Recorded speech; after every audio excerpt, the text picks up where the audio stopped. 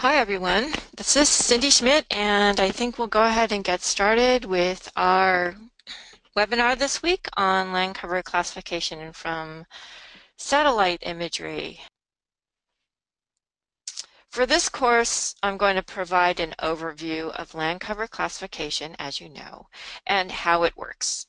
I will not be demonstrating how to acquire Landsat imagery. Um, that's covered in the prerequisite exercise. So all of you should know how to do that. Last week, I provided step-by-step -step instruction on how to convert digital numbers to reflectance values, how to clip Landsat image to a vector shape file, and how to create training sites for a supervised classification. This week I'm going to show you how to analyze those training sites to improve your land cover map. So more specifically, I'm going to review training site spectral, spectral signatures and then demonstrate an exercise in QGIS on how to create more than one spectral signature for each class, and also how to analyze spectral signatures. As I mentioned before, because this course is four hours, the format allows you to do the exercise on your own and ask questions if you run into problems. So first, I will review training site spectral characteristics. Okay, so we'll get started with turning data into information. This is a review from last week.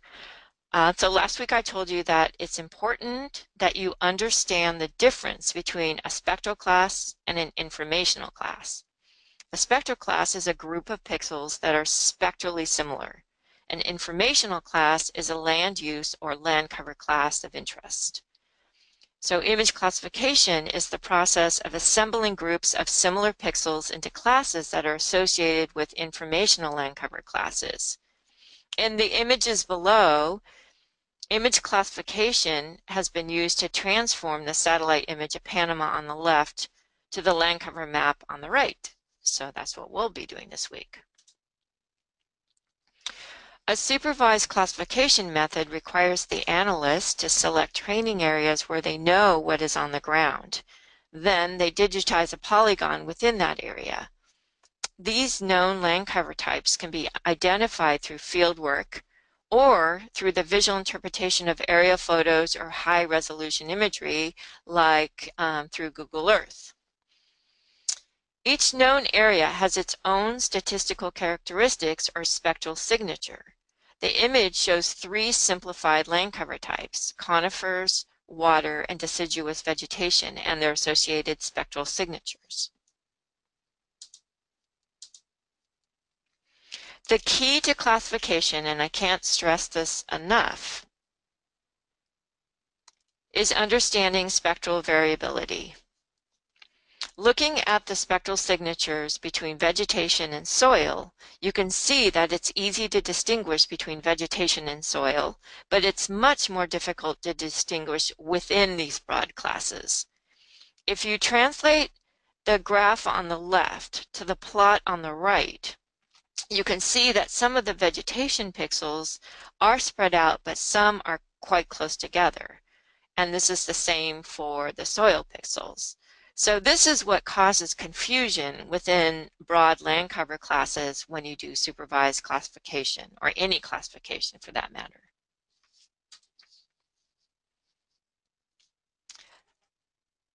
The spectral signatures from the training areas are then used to categorize each pixel or each segment in the image resulting in the entire image being classified.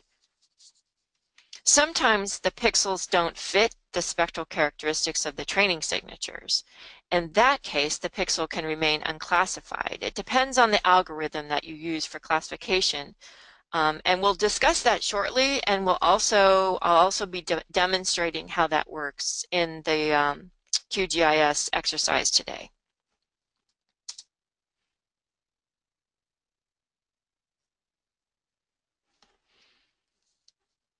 As a reminder, and I told you, um, you know, I went over this last week, but there are some key characteristics of training sites that you need to know.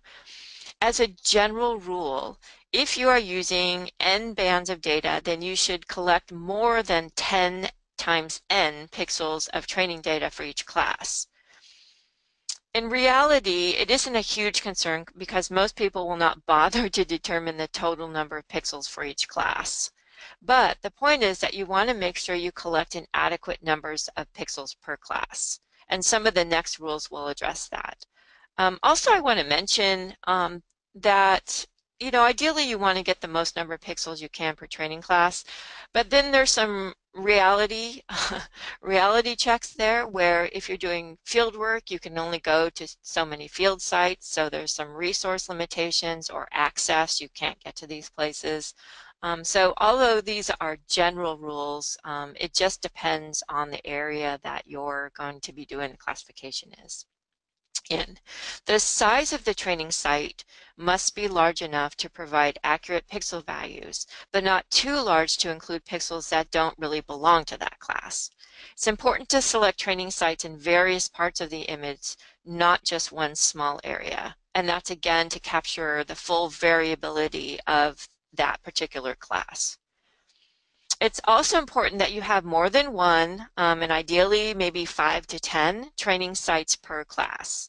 Um, last week we only picked one training site per class, but that was just to kind of show you the process.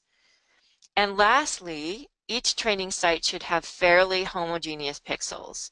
The idea with all of these rules is to make sure that you're capturing the variability of each class, but not too much variability.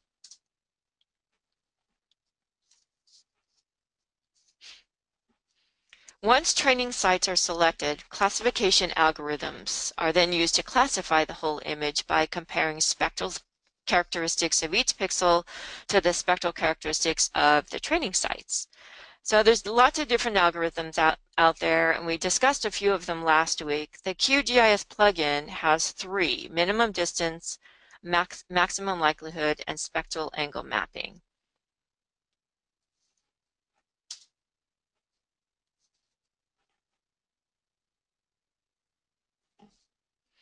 So now I'm going to talk a little bit about what we're going to be doing in QGIS this week.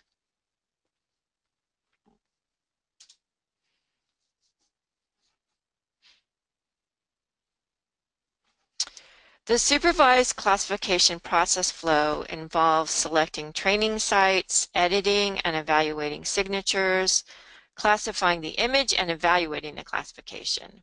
Last week, we selected one training site per land cover class and then classify the image.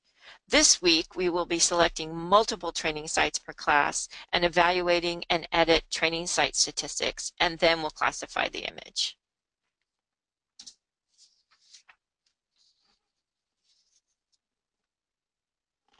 Last week, we defined the macro class as broad land cover categories, as you can see here with the classes as the subcategories. So in this example, we have vegetation as the macro class and grass and trees as the subclass or class as QGIS calls it.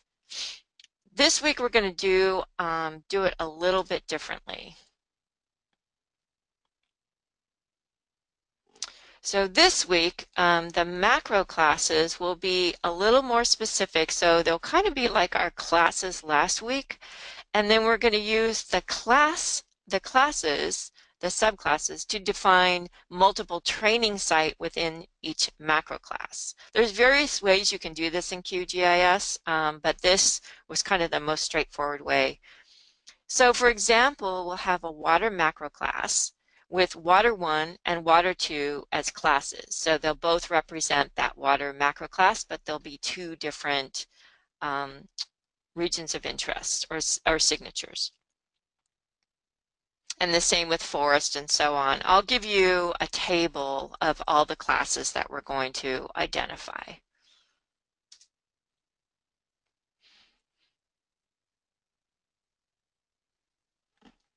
After we create the training sites, we will edit and evaluate the signatures. There's many different ways you can do this in, in QGIS, and we're, we're not going to do all of them, but I'll give you a sample of a few and hopefully give you enough information where you can kind of play around with it yourself. Um, in the next several weeks. First, we're going to visually analyze the classification by creating a preview classification, similar to we did, what we did last week. However, this time the classification will be created using something called the land cover signature classification. So rather than using an algorithm, we're going to use this land cover signature classification. And that uses the statistics of the training sites. So it does it, the minimum and maximum values of the training sites define a spectral threshold for deter determining which pixels be belong to that class. So the preview can be used to determine where you haven't captured all the spectral variability in the image because it won't classify pixels if they don't fit within those thresholds of the signatures. So one way to improve the classification is to change the thresholds of the signatures to include or exclude pixels, and we'll be doing that in today's exercise. We will also analyze the training site statistics by assessing the similarities between the training sites for all the land cover classes. Generally, if there's similarities between classes, then you know you'll be getting some confusion. So then at that point, you have to make some decisions on what to do. Do you edit one of those classes? Do you delete one of the or one of the signatures? Um, there's there's lots of different possibilities. Um, and so as you can see, this is a really very iterative and time-consuming process.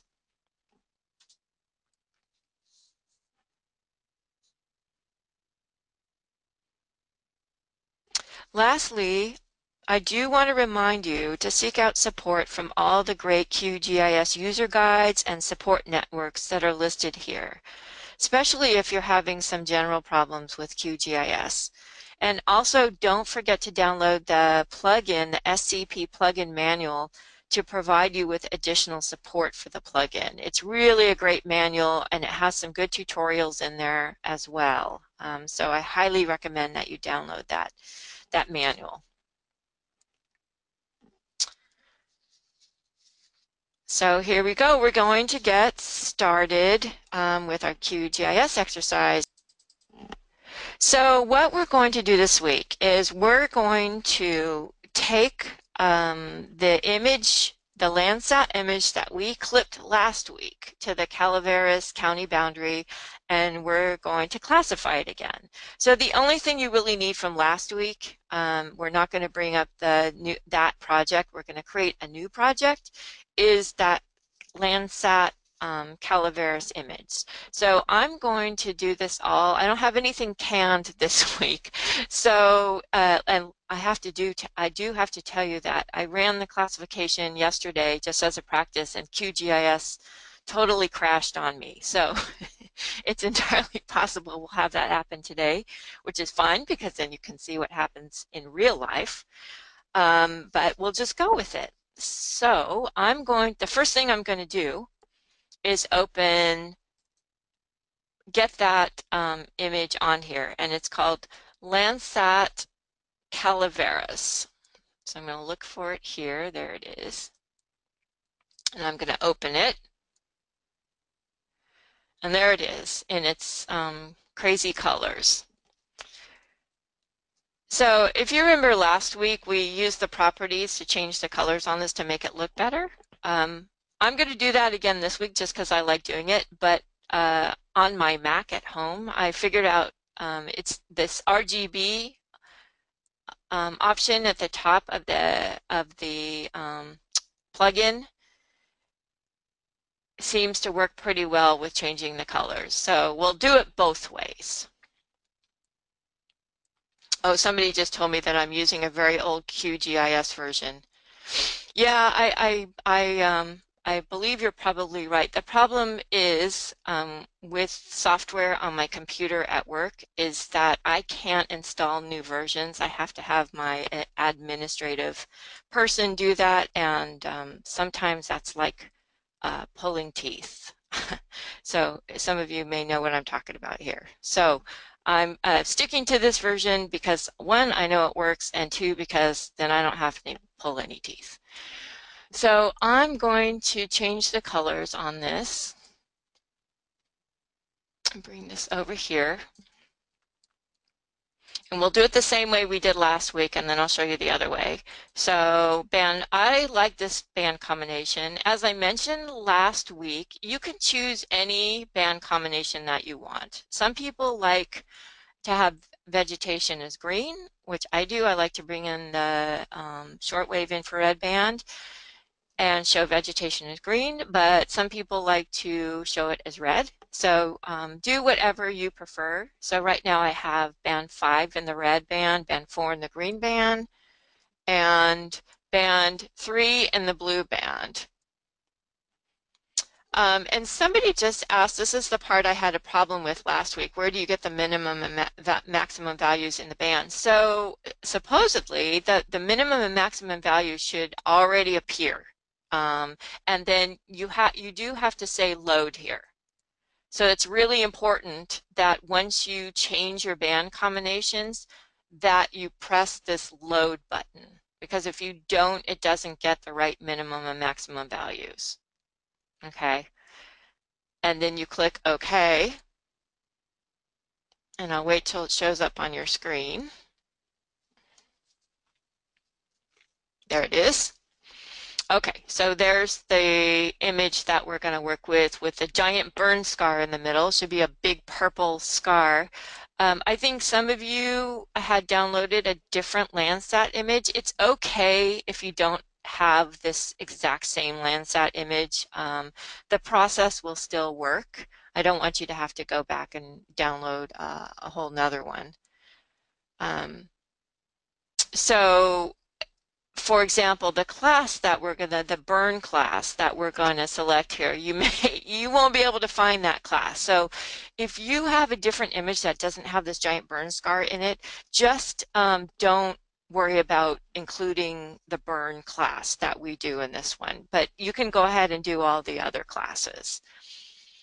Okay, so at this point, I want to show you the classes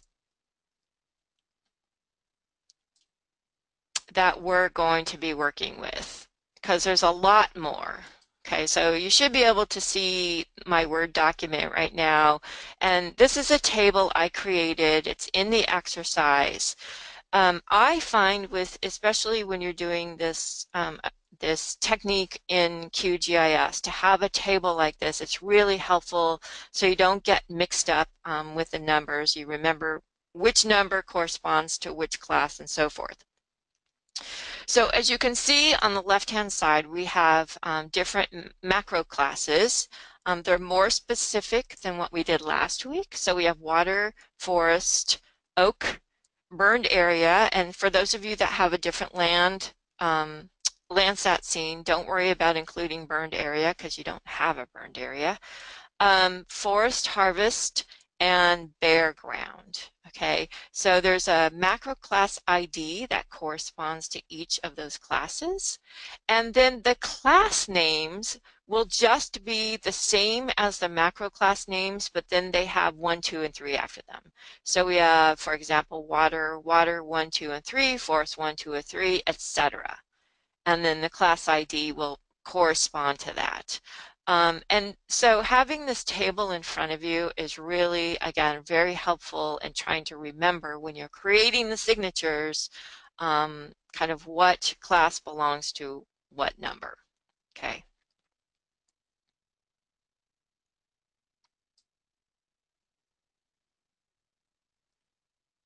Okay, now I'm going to go back to QGIS. I'll wait till you see it on your screen there, okay? And we're going to go into the SCP dock. So the way I have my setup um, is I have these two tabs on the bottom. Some people have them kind of floating around. There's different ways you can set up um, this plugin, but I find it easier to have it sort of in these tabs in the bottom. Um, also, I do want to show you this actually, I'll see. We're going to see if this actually works. So if you click on the RGB tab on the top, hopefully you can see it now, um, and you go to uh, 432, yeah, see, it doesn't change. It's funny, when I did it on my Mac last night, it changed it. Uh, oh, you know why? Because I need to put the input image. Okay, so let's put the input image first. So again, if you click on input image and there's nothing there, click the little refresh and then your input image will show up. Okay. So there it is. It tells it what the input image. Now we'll try and change the band combination. There we go. Okay, so one way to change what you're looking at um, is with this RGB radio button in the panel across the top. This is part of the plugin, which is kind of nice. It makes it easier rather than using properties in the layers panel, but I like using properties, um, is you can click on that. And then you can actually, this only has 432 and 321 as the options, and I like using, as you all know, 543. So we can change that if we go into um, tools, and I'll wait till that shows up for you. Okay. And then I believe it is not settings. I'll have to find it now. Tools. Oh, here it is. Okay, if you go to Tools in the plugin, and then um, my RGB list was way off to the right, so I just clicked on it next to LCS threshold right here. And then you can actually add an RGB combination. And you do that by clicking on this add row. I'll wait till you can see that right there and a little row will show up and then you can put in five, let's see. There we go. You have to double click on it. Okay, five, four, three. Okay, I'll wait till you can kind of see that on your screen. And you can see when I actually selected that, my image turned the color in the pack. So now that will be an option for you. Um, I'll close that. And then if I go back up to RGB, I'll wait till you can see that. If I go back up to RGB, that 543 is now there. So I can go between 432 and 543. So whatever you prefer. Okay, so that's a good way to change your band combinations if you don't want to do the properties in the layers panels. So now we have to define a training input. So we're going to click on, we're going to create a new training input by clicking on the new training input. I'm going to navigate to the folder where I'd like this to go.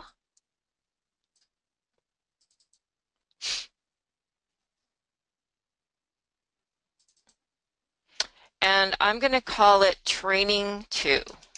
Training 2.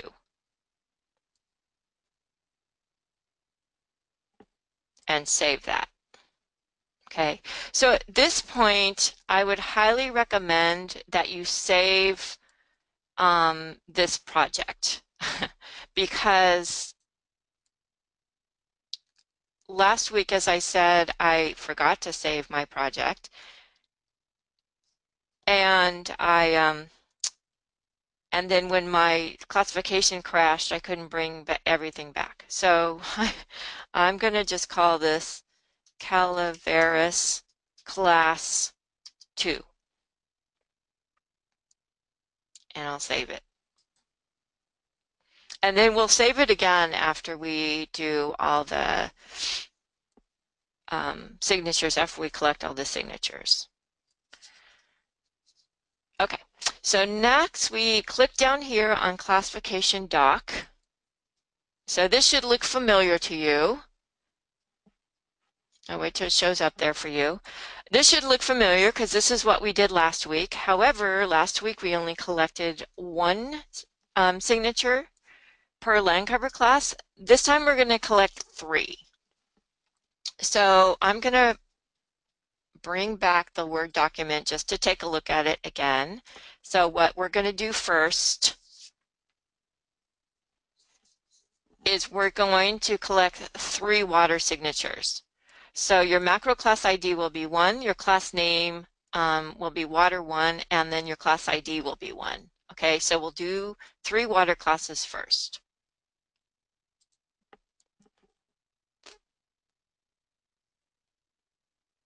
I'll wait till that shows up there.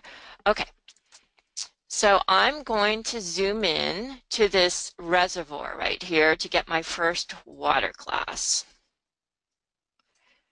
I'm not going to go over again all the different ways you can collect signatures since we did that last week. But for all of these signatures, I'm actually just going to use the Activate ROI pointer tool that I'm showing you right here.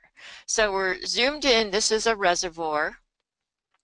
We're zoomed into this reservoir. I'm going to activate my pointer. I'm going to click in the middle of the lake. I'm just trying to see if I want to change my, okay, let's just click that. There we go.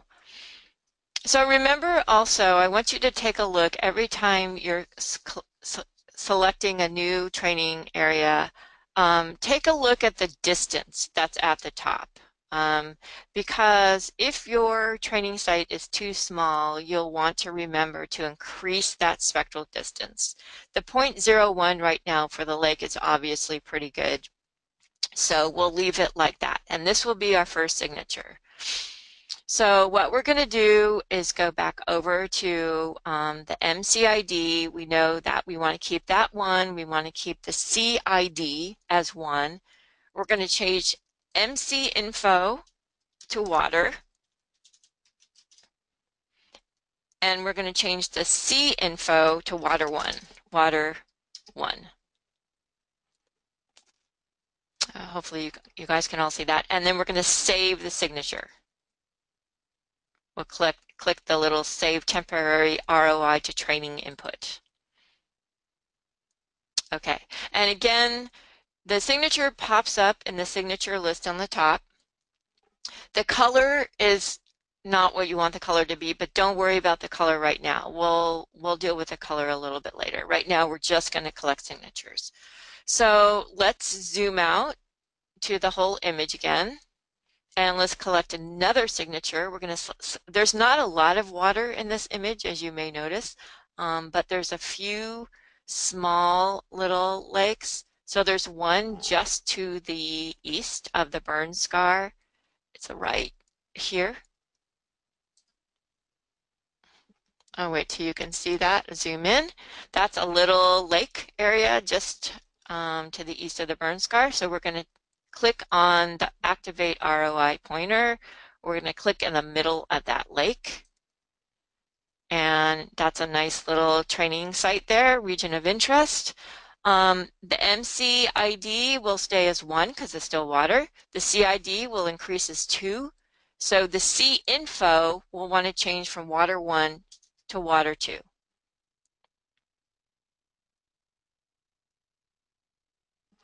and then we'll save that signature. Okay, so you'll see that pop up on the ROI signature list. We're going to create one more.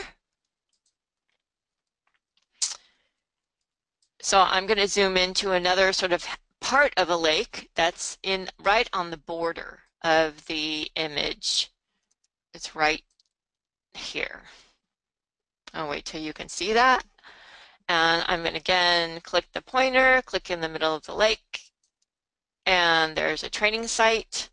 Um, and this time we'll call it CID3. So this will switch to water 3 and we'll save that. Okay. So wait till you can see that saved. So by at this point we have three signatures. Uh, again, ideally in a in a real classification, you'll want to have more than three even, uh, depending on the size of your image, but we're just going to do three. Um, for the next several um, signatures that I'm going to get, I'm going to go through it fairly quickly. Um, so let me know if you're missing something or something you don't understand. I'll try to keep an eye on the comments, um, on the questions here. It's kind of hard to do both, but I will try to keep an eye on the questions to make sure I'm not going too fast. But the idea for collecting these training sites um, will be similar across all the classes. So I'm going to zoom back out and I'm going to bring up my Word document again. Wait till you can see that. Okay, so our next class will be forest, so that will be macro class ID 2, and then the class IDs again will be 1, 2, and 3. So I'm going to move that.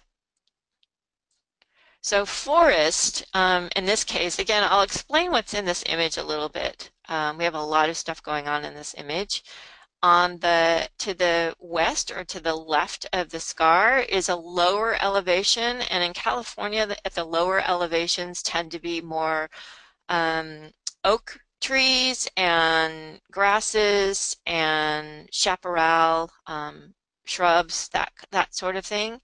And then where the fire occurred is kind of in a in a transition zone between those oak trees and um, conifers, pine trees. So as you go move east uh, of the fire scar or to the right of the fire scar, you get into more and more and more um, conifers or pine trees at higher and higher elevations. So um, the as you go to the east, the elevation gets um, greater and greater. So that's just to explain what it is that we're seeing here.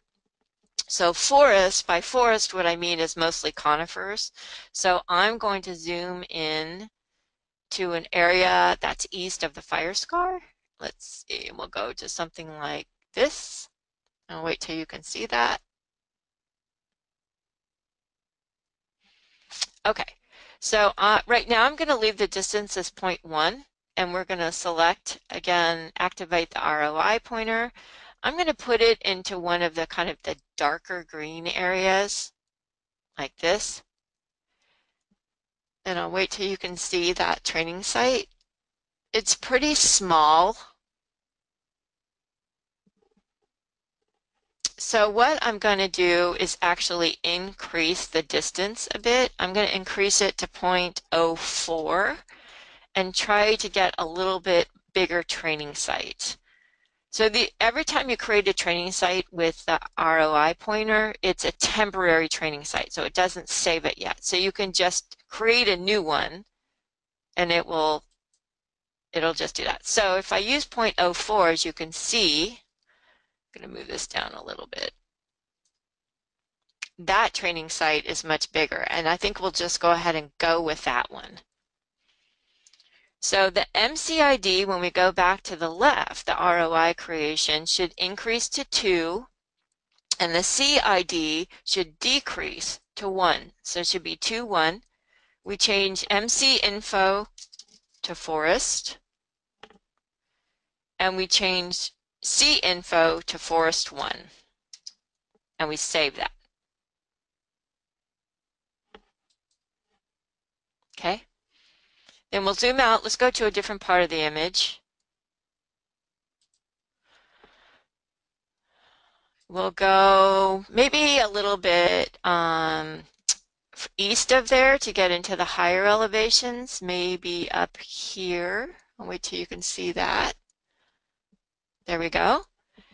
Again, I'll leave the distance as 0.04. I'll click on the pointer click in one of the dark areas, and there we get a nice um, training site. So the MCID on the left will remain as 2, the CID will, will be 2, and then we'll change C info to forest 2 and save that. Okay, so let's do one more. We'll zoom back out. Let's do one at lower elevations. Thank you. wait till you can see that. Okay. We'll point, put a pointer in there, put it on one of the kind of the darker areas.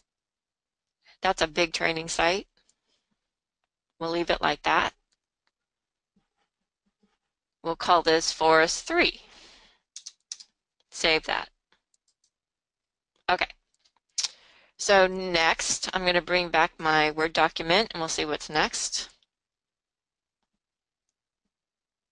So next we have oak, oak 1, 2, and 3.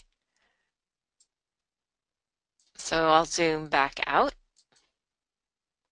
So as I said before, the oak woodlands tend to be at lower elevation. So I'm going to go to the left or to the um, west of the burn scar to, to pick some different areas there. So I'll do one right here and wait till you can see that. Okay. I'm going to leave the distance at 0.4 again.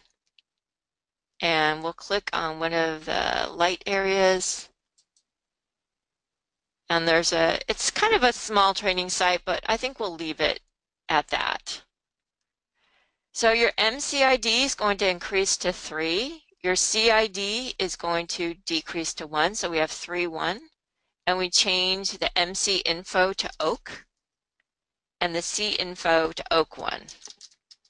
And we save that.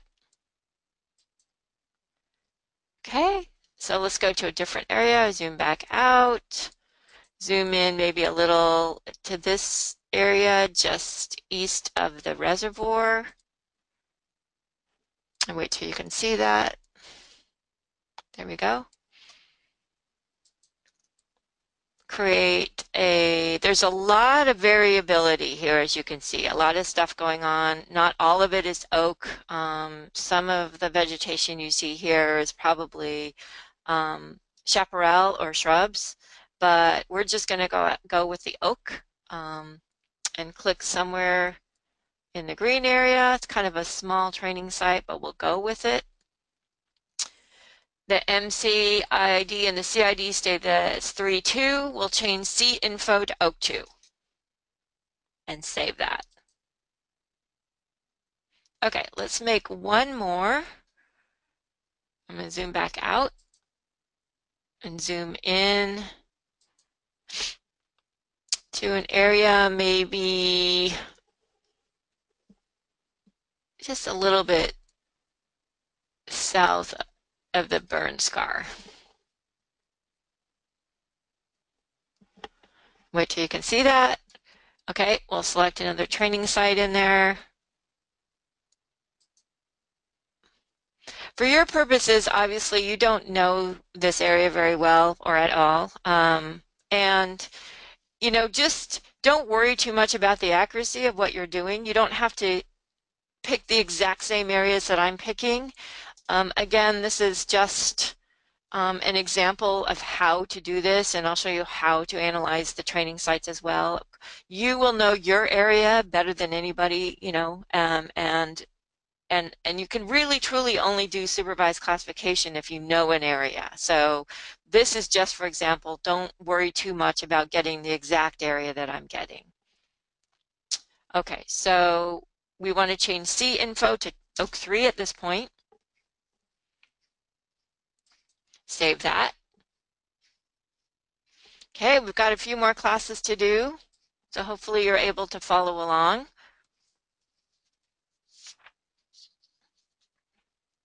The next we're going to do is burned area. So for those of you that have a different Landsat scene, don't worry about doing this one for burned area because you probably don't have a burned area in there. That's okay because you can just work with the class, the other classes that we have. You'll just have to renumber those macro class IDs to skip the burned area. Okay. So we'll do burned area right now. I'm going to zoom back out.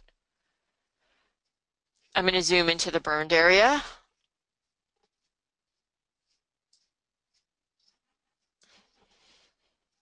Wait till you can see that. Okay, so if you look at this burned area, so all the purple is where the vegetation is burned, and you can see all the different purple colors that we have. So there's a lot of spectral variability, and we want to try to capture that with our training sites. Uh, so we're going to click in a couple different areas here. One is kind of this lighter purple area. I'll just click somewhere in here. And, you know, we might want to increase the distance a little bit. I'm going to give that a try. I'm going to increase it to 0.08 and do a different training site. Yeah, so that gets a little bit more variability for that particular training site. Um, again, you know, as you can see, this is a very, there, there's not a hard and fast way to do any of this. You kind of have to understand your area, um, understand, you know, what your training sites, what you're collecting, and then the spectral variability within that training site. So your MC ID is going to increase to 4. Your C ID for the first training site will decrease to 1. We change MC info to burned. I'm just going to call it burned area. And then your C info, we'll just call it burn 1. Not brun. Can't spell, sorry. Burn 1.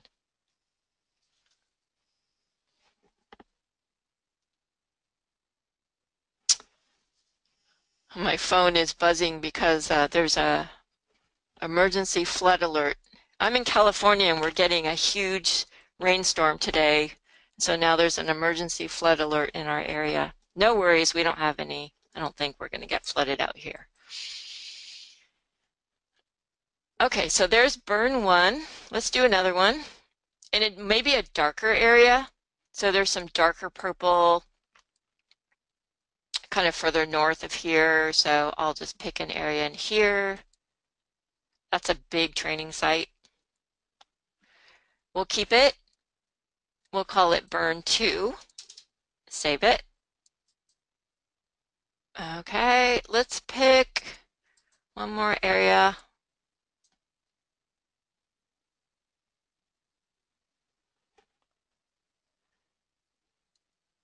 And I'm going to pick um, kind of a shadowy area, I think, like on this side here.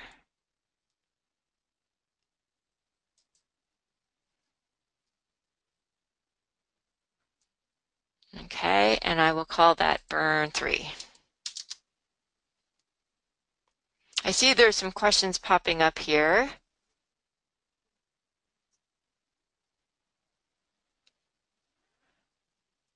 Can we edit the MCID? I forgot to change it.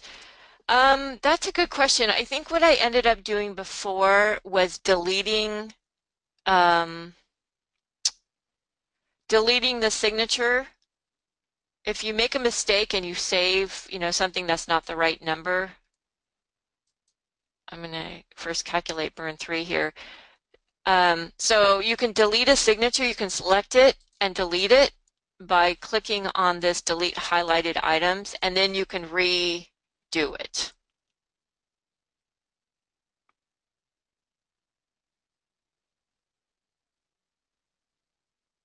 Yeah, and then I think you can also manually change the values in here as well. I think you can go in here and actually change the values. Okay, I'm going to zoom back out. Our next class will be Forest Harvest. I'll wait till you can see that. Forest Harvest will be number five. Okay, let me show you what that is.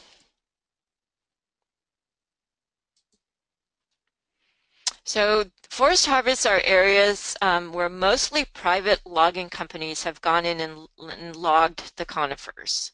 Um, and so you can see it pretty clearly in the imagery. I'm going to zoom in to an area east of the burn scar. So all these little, I'll wait till you can see it. I'll see the zoom. There we go. So all these little pink um, kind of squares and different shapes in there are areas that have been cut um, mostly to private timber companies to cut the conifers. And they cut them in these little squares.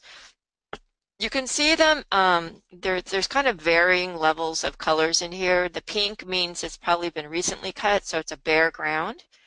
Um, and then some of them you can see some that are where vegetation is growing back. You can see some green in it.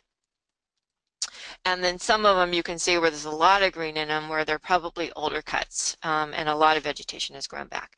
So we're just going to focus on um, the bare ground areas for our forest harvest.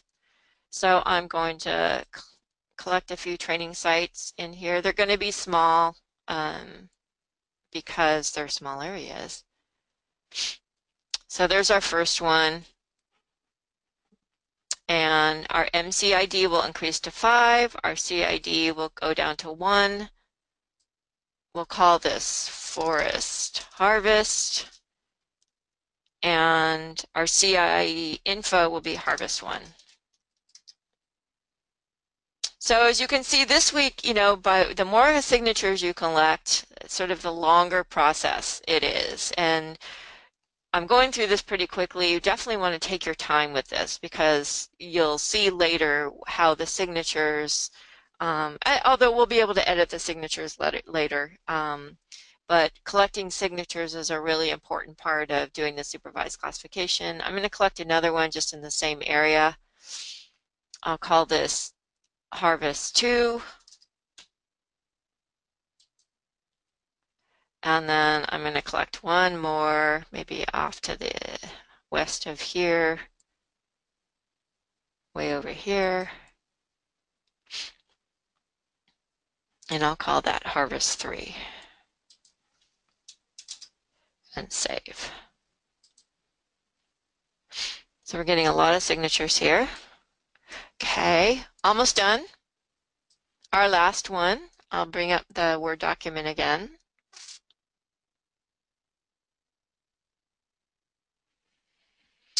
Is our last one is bare ground.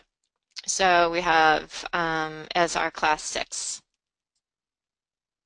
So I'm going to zoom back out. We're going to zoom in. So most of the bare ground, except for the forest harvest there, so you can imagine there's going to be some confusions between the bare ground and the forest harvest, but we're going to go with it. Um, our most of our bare ground is to the west of the fire scar, kind of near that reservoir where you can see all that kind of pink and white. So we're going to zoom in to that area. And wait till you can see that. Okay, so you see a lot of different colors here. So we're going to pick just an area. I'm going to pick one of the white areas right now. And we have our distance at 0.08, so it's getting quite a few pixels. We'll leave it. We'll leave it at that. That's fine.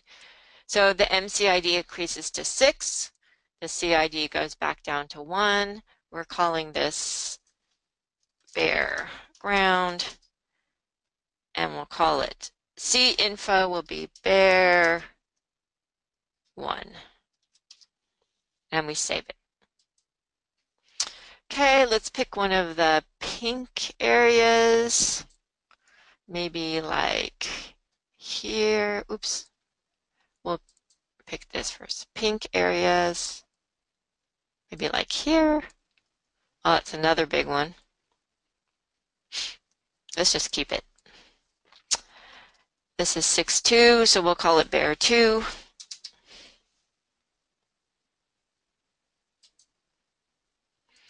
And the last one, let's move a little bit further this way. And which you can see what I just did. Okay. And we'll pick one over here somewhere.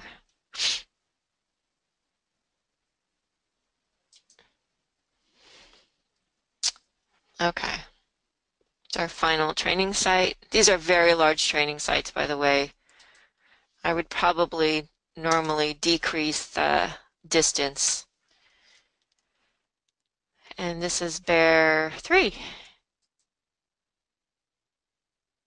Okay, so at this point, you should have, unless you don't have a burn scar, you should have 18 spectral signatures.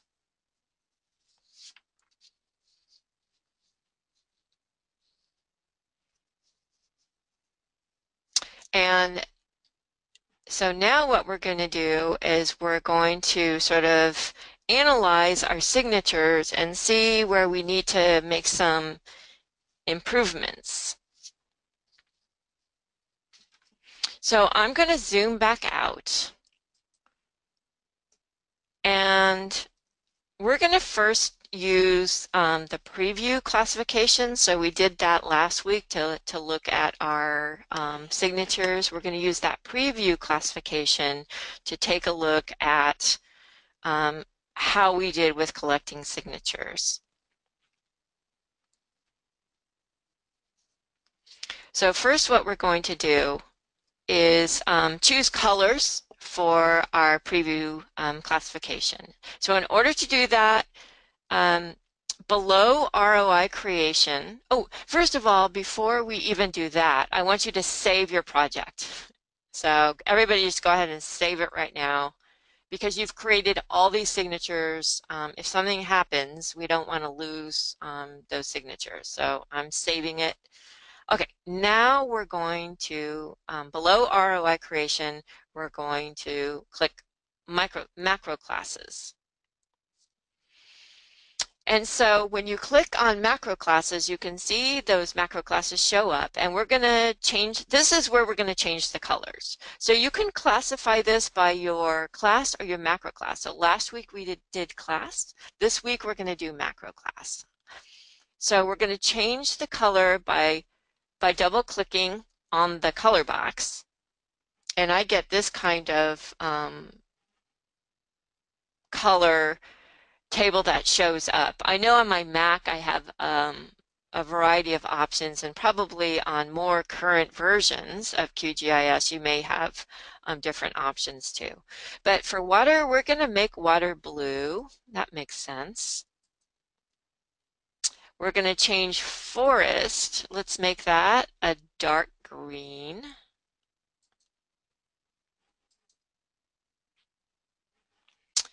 We're going to make the oak a light green.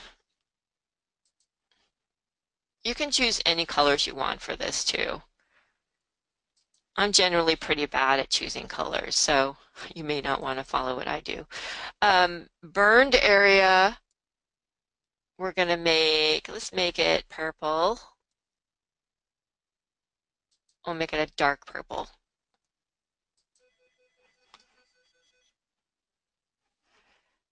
Um, forest harvest, let's make that orange.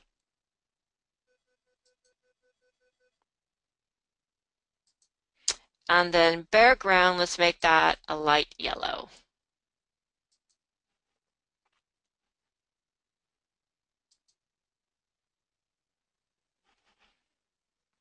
Okay, so you should have your colors set there.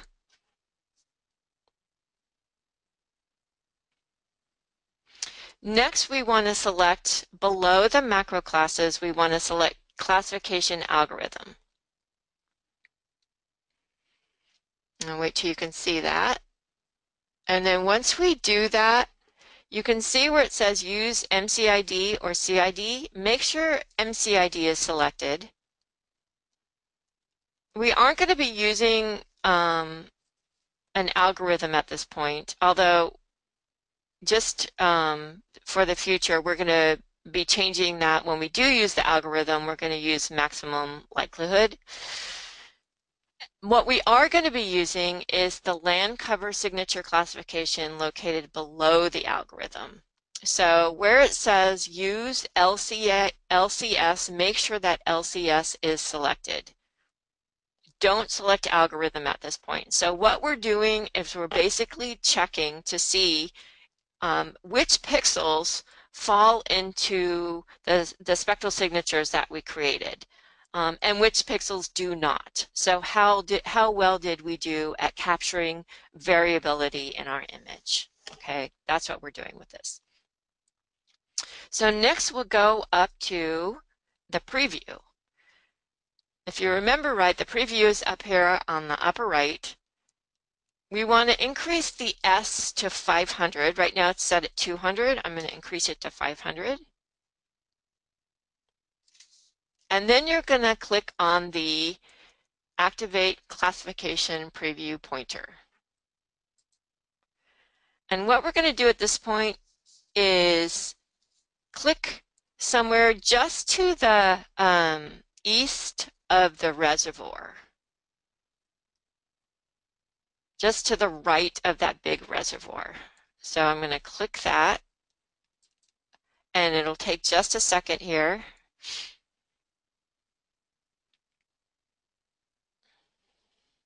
And hopefully it doesn't freeze up. Oh, it's freezing a little bit. There we go. And, and now you can see my preview classification. So I'm going to zoom into that. I'm going to kind of zoom in around the lake. We're going to take a look at that. Actually, I'm going to zoom in even a little bit. Well, that's probably good enough. So when I zoom in, let's take a look at what we see here. We see um, the blue pixels where there's lakes, obviously. We see a lot of light green, um, which is the oak. We see a lot of yellow, which is the bare ground. Um, we see a lot of black. There's a lot of black, which means there's lots of pixels that have not been classified. Um, and then we see some gray where there's a lot of overlap between the pixels. Okay, so let's figure out some ways to, um, to deal with some of the black first. So if you click on and off the preview, so let's focus on the lake first. If you click off the preview, and then you click on the preview. What you'll notice is, and I'm going to put my cursor in this area right here. I'm going to wait till you can see that. Some of the lake, some of the water in the lake did not get classified. There's black there. Actually, there's some purple there too, but um, some of the lake did not get classified. So let's figure out how to include those water pixels as part of the water signature. So I'm actually going to zoom in a little bit further to that area that I'm talking about. Okay. And wait till you can see that. And I'm going to click on and off the preview again so you can see this area. So I'm going to try to point it out a little bit. There's, um, there it is clicked off and there it is clicked back on, right? So there's some area in here um, that should be water, but it's not classified as water. So in order to classify that area as water, I'm going to click back off the preview. And I'm going to make an ROI in the area where we want to include as part of the um, as part of the water. So I'm going to just make an ROI like right here in this little area. Okay, so what happens because my distance is fairly big is, and this is fine, you can do it this way. There's a couple different ways you can do this. You can create this ROI with a bigger distance. So that will, that, as you can see now, it's including a lot of those sort of edge pixels. So um, the reason why it wasn't included in that signature is because when I clicked on the lake, I clicked in the middle of the lake and it's deeper there. On the edges, it's shallower, so you're seeing um, some sediment um, and because my spectral distance was, was smaller with the water originally, it didn't include those shallower areas. So now if we increase the spectral distance, it includes those shallower areas. You can see that. So this is one way you can do it.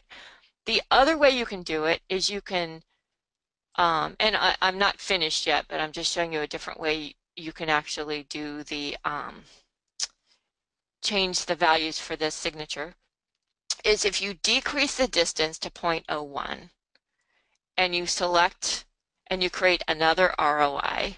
So it only gets a small area. You can do it this way as well, okay? So what we do at this point, we're going to bring up another box. We're going to bring up, um, it's called the spectral signature plot. And in order to look at the spectral signatures more carefully, what we have to do is highlight those signatures first.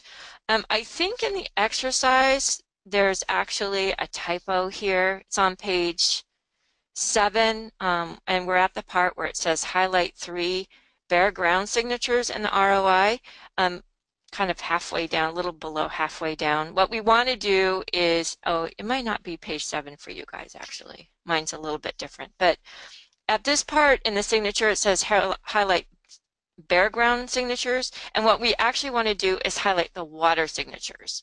Um, I'll make that change in the exercise and make sure we get the updated version on the website. Apologize for that. So we're going to highlight the water signatures by just clicking and dragging down so they're highlighted in blue. So hopefully you can all see that. Then you're going to click on this little icon below that says add highlighted signatures to spectral sign oh thank you Pedro. Page 11 and 12 not page 7 is where this is happening where um, it's in the exercise.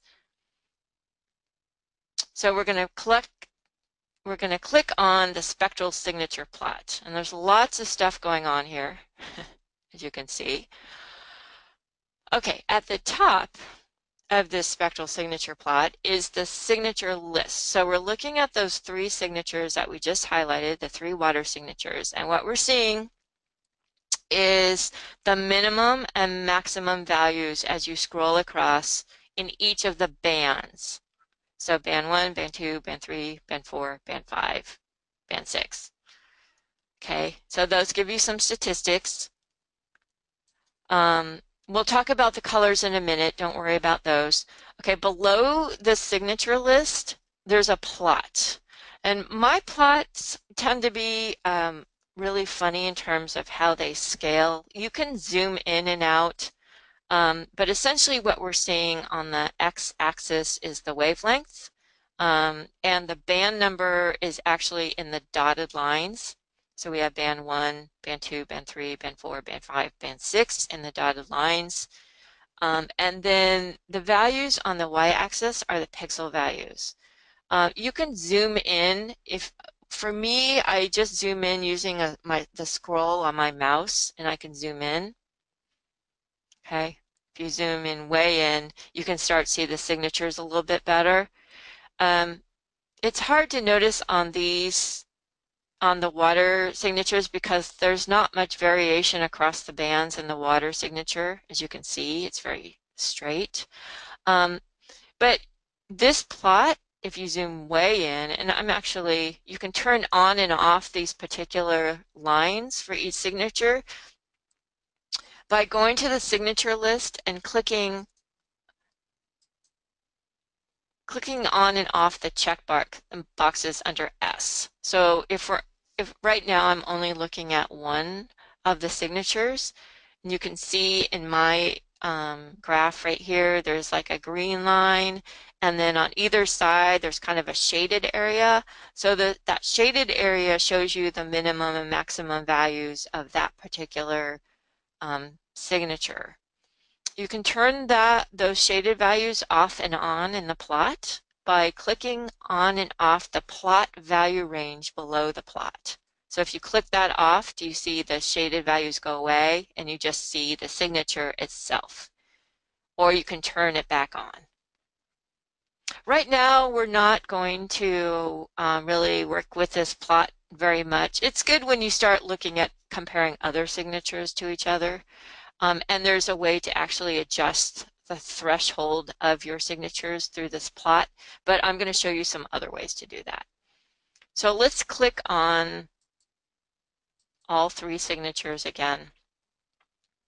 Okay, so to the right of this signature list, there's all kinds of icons. Um, and what we're going to be looking at is automatic thresholds. So you can change the minimum and maximum threshold of your signature by these tools right here. And what we're going to do is we're going to change the threshold using the ROI that we just created. So where it says from ROI, that's what we're going to use. But let me explain the other things that we're seeing here first. We have the from ROI where you can use a region of interest um, to change the thresholds. Or you can do it from an individual pixel. If, if you just want to change um, the thresholds based on a pixel, a specific pixel, you can do that as well. Now it's really important that you understand what the plus and minus are because I messed around with this earlier um, and um, it, it really changes the values of your minimum and maximum.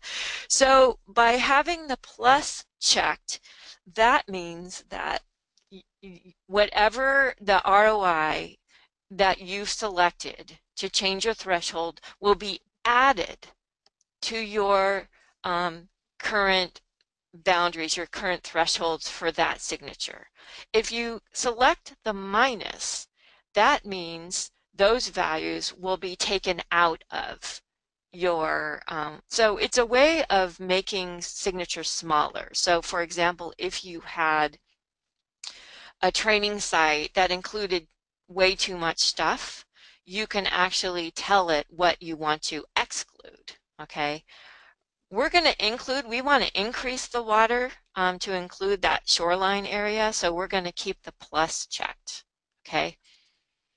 And then we're going to actually select um, one of the signatures, and if you remember right, the first signature was actually that lake um, the water signature, the water ROI. So we're going to select that, okay? And then we're going to click, make sure the plus is clicked, and then we're going to click from ROI. Okay, so that will change um, the minimum and maximum values for that ROI to hopefully include those areas that um, were excluded before.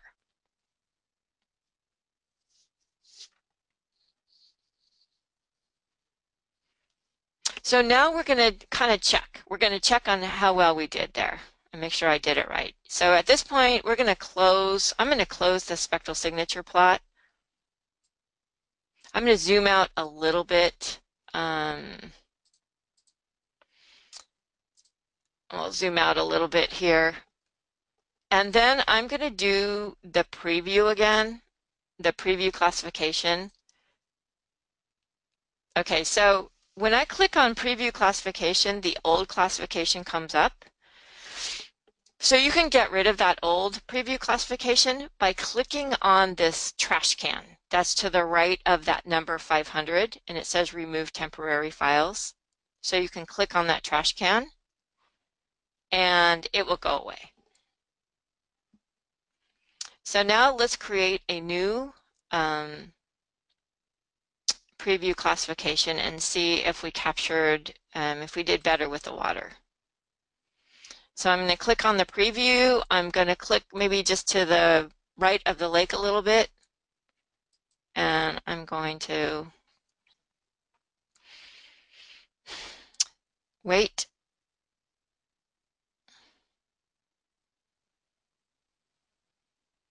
Okay, and as you can see, the, um, the ROI is still on there.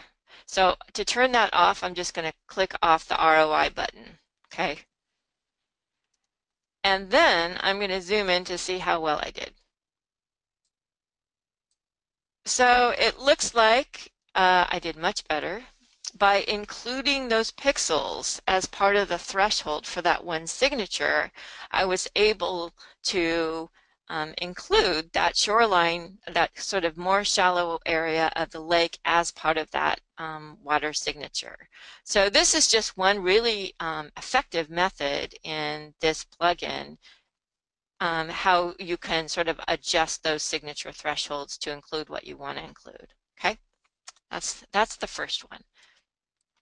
So next, I'm going to zoom out a little bit more. And we're going to kind of zero in on an area that's to the left of the lake, kind of to the north left of the lake. Actually, I'm going to zoom out a little bit more so you can see that. So you see some black areas, and the area that I'm looking at, I'm going to click off the preview. Okay, so the area I'm looking at is is right here. Hopefully you can see what I'm pointing at. It's this is an urban area. So it's a small town located sort of north, a little bit west of the reservoir. And you can see more urban areas located just a little bit south of that. And uh, and then you see kind of a really light green area that that's like almost in a circle shape, that's actually a golf course. So you can tell that's a it's a populated area. But if you click the preview back on, you notice that those areas are not classified. So what that says to me is that we need to create a new class, um, and we'll call it an urban class. Okay, so uh, so that's where this preview classification can be really effective because um, it can tell you what kinds of classes, what kind of spectral variability that you're missing in your classification. And in, in my case, I'm missing urban. So I'm going to make a new ROI. I'm going to turn off my preview again. I'm going to zoom in to the urban area like this.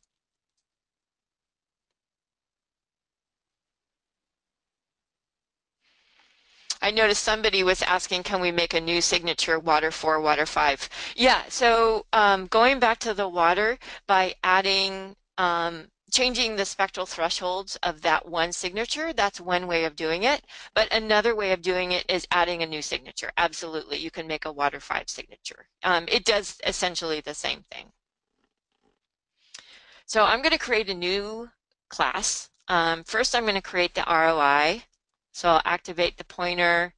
Um, I'm guessing my distance at 0.01 probably is not um, big enough because as you can see in this urban area, there's a lot of spectral variability, but I'm gonna just see what happens. Yeah, so if I just choose 0.01 uh, as my distance, it gets like two pixels. So I definitely want to increase. I'm going to increase it to 0.08 and we'll try it again. So as you can see, you know, this is a really iterative process. There we go. If we do 0.08, that training site um, seems to work out a little bit better. So we're creating a new class. If you remember right, our um, our bare class was our last one. It was MCID as 6. So we're going to call urban 7. So we'll change our MCID to 7. We'll do CID as 1. We call MC info as urban and C info as urban 1. And we add that. So let's just do a few more urban signatures. I think that would be a good idea here. Um, we can move just maybe south of there where we see that golf course. I'm not going to include the golf course um, because obviously that's vegetated. So let's try another area here. And we collect another urban signature, and we'll call it urban 2. Save it. And let's find one more. Let's find one more. I think there's one over here. Here we go. See, this is another urban area, but there's a lot of vegetation in there. But we'll try to get a good training site here.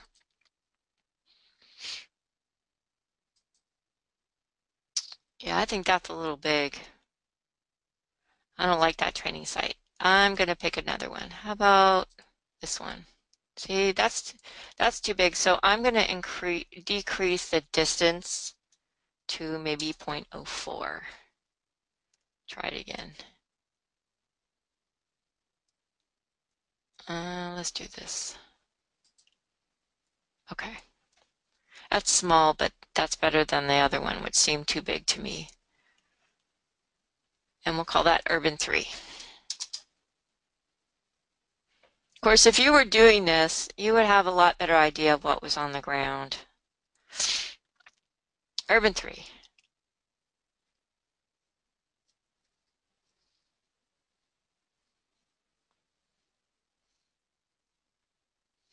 All right, so let's take a look at it, how well we classified the urban. Let me zoom back out and I'm going to do the classification preview again. Um, I want to trash that one that I just did.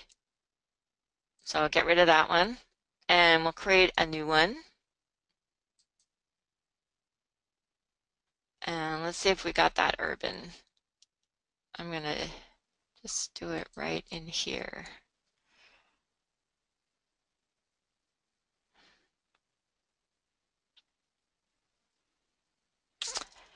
Okay, I'm going to zoom in. Oh, you know what? I forgot to change the color. I'm going to go see what color my urban is. Okay, so the urban is actually like a green color. I'm going to change that to just so I can distinguish it from everything else, I'm going to change it to a light purple. Um, I'm going to trash that preview and I'm going to do another one.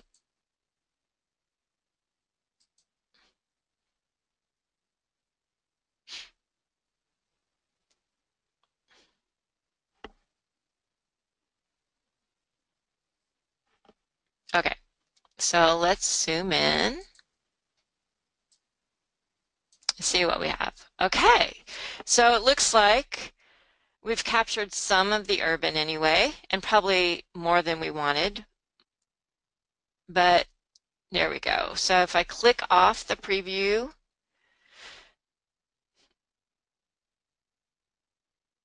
I'm waiting until you can see that.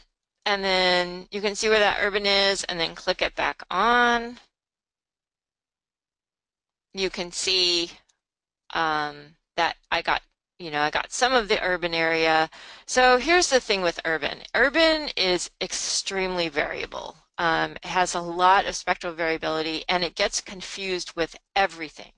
So, and we'll, you'll see this later when we start looking at the statistics a little bit more. So once I define an urban class, you'll see it appearing everywhere. And as you can see, it's appearing along the lake edge, as is, I noticed some of the burn, um, the burn area. So burn is obviously getting um, mixed up with a lot of things. So you're starting, you start to get an idea of what spectral classes are getting confused with what. Um, but these are get, just giving you some techniques on how to include classes or, um, you know, work with the confusion.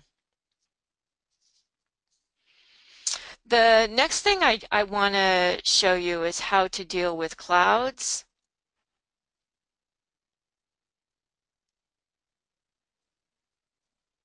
So I'm going to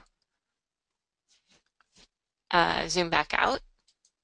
We actually, it's hard to see them here. I'm going to turn off the preview for a moment. Um, but there are a couple small clouds in this image and they're located um, to the east of the burn scar, and you can see a pretty good one right here. I'm going to zoom into it.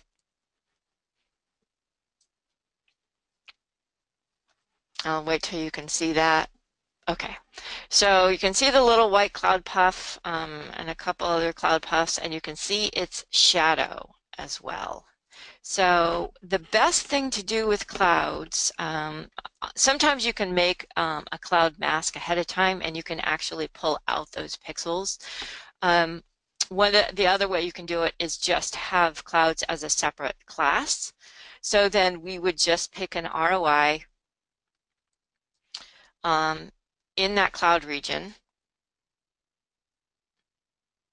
Oh, great. Mateus uh, said isn't it a good idea to save the project again? Great idea. We're going to do that right now. We're going to save it. always save this because you never know when things are going to crash. Um, I'm going to make another cloud signature. So the one, the reason I'm showing you this is because clouds are really variable. So I have a distance set at 0.04 right now, and I just created a training site, and it's really, really small. It's obviously not getting the whole cloud. So we're going to increase the distance. Let's go to 0.8 and try it again. Uh, so that gets a little bit more of the cloud. I'm actually going to go to point one and see what happens here.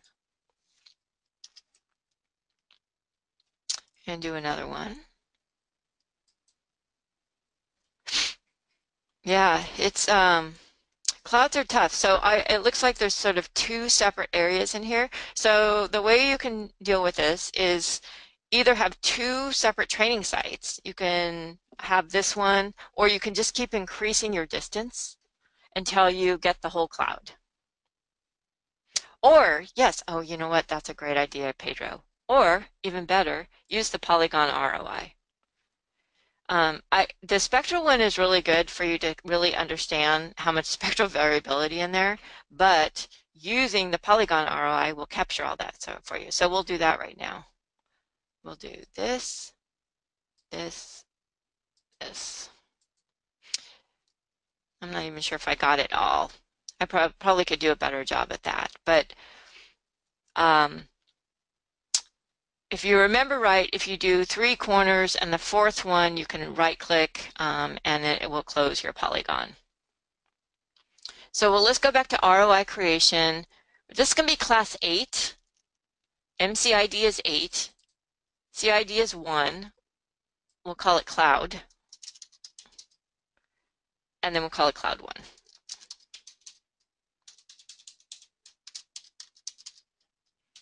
Okay. And save that. I'm only going to do one just for the sake of time here. Um, you might also want to do that with a shadow. Um, the I just will warn you that your shadows are going to get mixed up with a lot of other shadows um, and other things as well. So it might get uh, mixed up with some burn will probably get mixed up with your north-facing slopes. So even in this particular image that we're looking at, you can see some of the shadows um, just north of the shadow um, that it will probably get confused with. Um, so you can give it a try by creating a new class if you want with shadows. Um, but my guess is that it will get confused with a lot of stuff. Um, and there's not much you can do about clouds and cloud shadow. Um, it's not like you can see underneath the image. You can sometimes what people do is they'll fill in with an with a different date image. You can do that if you have that imagery available. Um, but then you have to realize that you have multi-dates in your image. So there's clouds are tough. Luckily, there's very few clouds in this particular image. Um, hopefully, your area of interest isn't underneath that cloud. Okay, so I'm just going to leave the one cloud. Um, so next, what we're going to do is sort of analyze the signatures a bit. I want to show you um, how you can look at these signatures in different ways. So at this point, what we're going to do is open up this um, uh, well, first, actually, sorry. First, what we want to do is highlight all the signatures. So let's highlight all of them, all the way down. So make sure that they're all in blue, and then we'll open up that plot again. I'm going to make this box pretty big so you can see everything. So as you can see, our plot is crazy. It's got all kinds of um, spectral values in there, or spectral signatures. It's got all of them. Um, if you wanted to look at individual ones, then you would check them off and on on the signature list on the top, as I showed you before. Um, you can see one signature that's way at the top here. That's probably your cloud signature um, that because that's going to be really different than and very high uh, reflectance value compared to everything else that you have. Um, again, if you if you can look at the minimum maximum values of your signatures in the signature list. Now what's really valuable here is this column that has the colors in it. So most of you will probably have to expand that column a bit. So just expand it open. And this is uh, this is really great because it tells you which signatures overlap spectrally with other signatures. Okay, so everything that you see highlighted in orange here is an overlap with other signatures. So as I scroll down, you'll see a lot of orange. Now, lots of times, the signatures are just um, overlap with each other, which is fine because they all belong to one class, right? Or one ma macro class. But um, if you look in the column where it says color and the overlap, you'll see some numbers there and it actually tells you which signatures that it overlaps with. So for example, in, in mine right here, what it says is my Forest 1 signature overlaps with signature 4-2. And 4-2 is actually burned area. It's one of my burn signatures. Um, and it looks to me like that burn signature is gets um, overlapped with all my forest signatures. So that's just something to keep in mind. Let me scroll down and see what else is being confused. Okay, my oak is being confused with something that I can't see, but we'll, I'll be able to show you another way to look at this in a minute. Okay, so my burned areas are one of them's getting confused with urban. One of them's getting confused with my forest classes, as we saw before. A couple, couple of them are actually. Um, harvest is getting confused with bare ground, and that makes sense, right? Because the, the harvest um, signatures that we selected were actually bare ground, so that makes a lot of sense. And as you scroll down, you can see some which signatures, like urban, again, gets confused with everything. Um, so this shows you that is in fact true. so this is one way to look at how signatures are confused with each other. The other thing you can look at is to look at the standard deviations of these signatures. And the way you look at that is you click below the plot, it says signature details. So I'm going to I'm going to select that. I'll wait till you can see that. I'm going to scroll all the way up to the top and explain what we're seeing here. So for each signature, we have um, the MCID1, MC info is water. So we're looking at the water one signatures. And then it gives you the size of your ROI. In this case, the my first signature had 2,511 pixels. And it tells you the standard deviation for each band. So this is interesting to look at, especially across your different um, signatures. And if you have a particularly high standard deviation, that means there's a lot of variable, variability in that particular signature. And you may want to consider deleting that signature and either redoing it um, or, uh, or just deleting it altogether from your classification. Um, so this just gives you a way to really dig into, for those of you especially that look, like to look at numbers instead of graphs, um, this is a really good way to look at your standard deviations. Um, and if we scroll down to urban, so you'll see a lot of these standard deviations as 0.00 something or other, um, which is you know pretty pretty low. Some are a little bit higher than that. Um, if I scroll down to urban, so you're going to see these standard deviations is higher, right? So it's 0.02, 0.02, 0.01. Um, part of the reason is because we had increased that distance um, quite a bit, I think, to 0.08, and that includes a, a, higher number of pixels. So by definition, when you increase that distance, your standard deviation is going to be higher.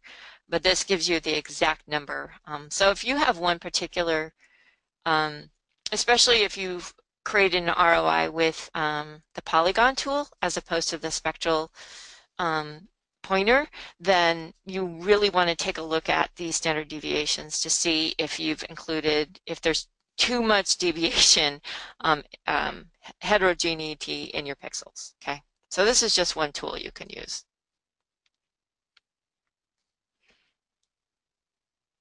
So somebody was asking, what does the distance stand for? So I explained that last week. Um, so I'm assuming you mean the distance in ROI. That's the spectral distance. So that's the distance in the values between the pixels. Um, and in this case, since we converted our image from um, pixel values to reflectance, our values range between 0 and 1. So your distances are going to be really small. So it's just the distance is the, is the difference between the pixel values. Okay, then the last thing um, that we want to look at is um, the, the spectral distances. There are various measures, um, various measures of spectral distances. And it gives you an idea, again, of which signatures are overlapped with each other.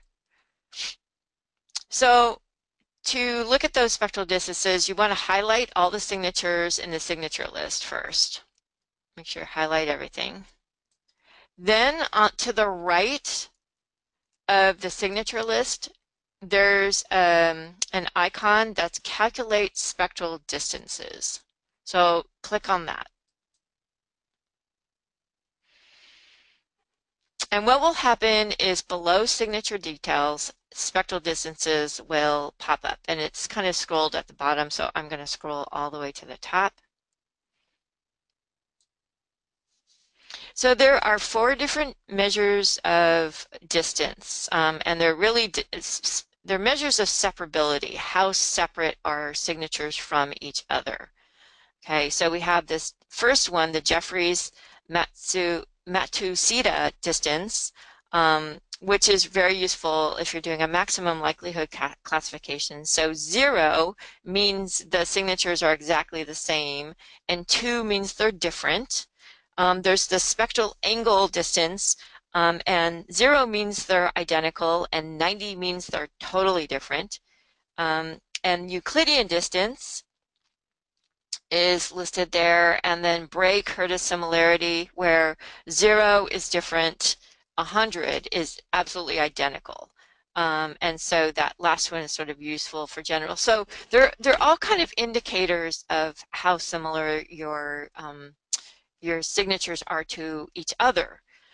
So of course, if you're looking at the same signature within, um, you know, two, two signatures within one larger class, you're going to expect them to be similar. If they're not similar, that's not a big deal because that may mean that you're capturing variability of that class.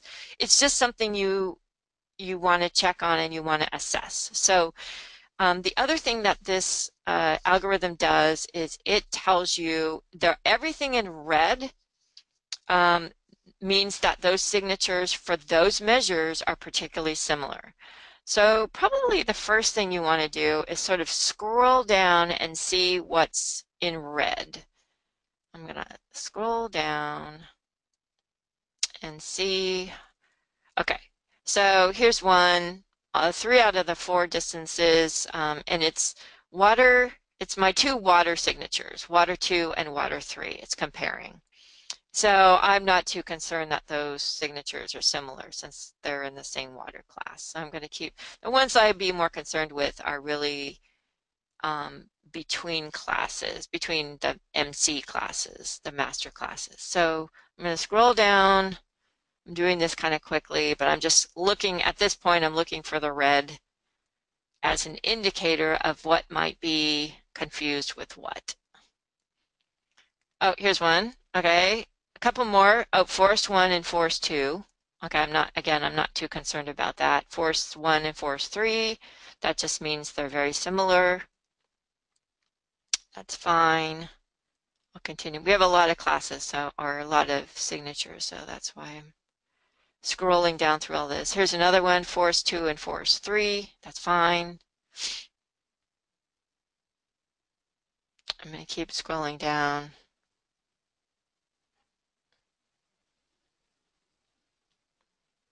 Okay, here's a couple. So it looks like, at least for two of the measures, my force 3 signature and my Oak 1 and Oak 2 signatures are similar.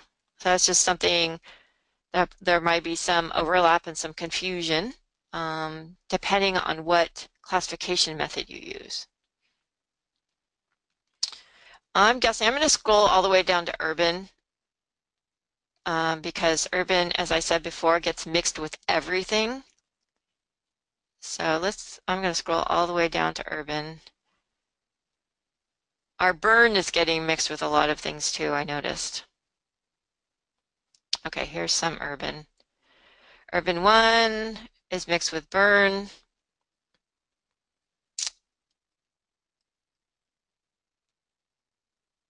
Let's see what else is going on. Harvest and bare, of course, are confused. We saw that earlier. Urban 2 and harvest. Yeah, so, you know, the, the thing that you do with this is really assess the similarities between these classes. And if you're seeing, for example, similarities across all these different distances, you may consider, again, either um, redoing a particular signature, you can delete signatures, um, you may have to sort of rethink your classification. There's other ways that you can deal um, with some of these issues. Uh, I think I told you last week, sometimes when there's to minimize confusion between classes, you can divide up your study area by ecoregions, for example, um, or by elevation, because sometimes you'll have um, some features at some elevations and not at other elevations. So it's a good way to sort of separate out those areas and then classify them separately. Um, somebody asked, can we just manipulate the distances to separate them? Yes. I mean, and I showed you ways you can manipulate those distances, but sometimes you have classes that are just too similar. Um, and there's no getting around it because we're only looked at looking at spectral um, spectral values here. You can merge classes, somebody mentioned that. You can, but you have to be careful about that because um, if you're merging, it just depends on the goal of your project. If you're merging urban and bare, for example, because they're getting confused, um, then what do you call that and how useful is that for your final classification? um, you know, for, for your client or for your work or whoever you're doing that for. So doing a purely spectral classification is really challenging. I, I think um, most people who have higher accuracies in doing land cover class, classifications awful, often will bring in ancillary data um, to help them deal with some of these confusion issues. Oh yeah, somebody was mentioning you can merge um, you can merge your spectral classes absolutely. So you can um, you can go back um, into your classification, your signature list, and if there are class if there are signatures that are particularly similar to each other, you can um, you can actually merge them together into one signature. That's another option that you can do. There's all kinds of different things. So at this point, what I'm going to do, I'm going to save my project again, just for the heck of it. I'm going to zoom back out. And I'm actually going to run the classification as is. I'm not going to make any more changes, um, even though I clearly need to. So at this point, uh, we'll keep the actually what we'll do is we'll change the cloud under MCID, we'll change the cloud color cover to white. We'll say okay. Um, we'll keep all our colors the same then. Um, if we click on classification algorithm, again, we want to use the MCID. Um, we will use, this time we are going to use the algorithm because we want to um, classify every pixel. So if you don't choose the algorithm and you only choose use LCS, it will only classify those pixels that fit into your um, the thresholds of your statistics. If you use the algorithm, it kind of does like a hybrid classification where it will use maximum likelihood or whatever algorithm you choose to figure out where those unclassified pixels should go. So it uses a statistical approach to figure that out. So it will classify all your pixels. So we're going to do it that way. Um, select use LCS, select the algorithm, okay, and then click on classification output.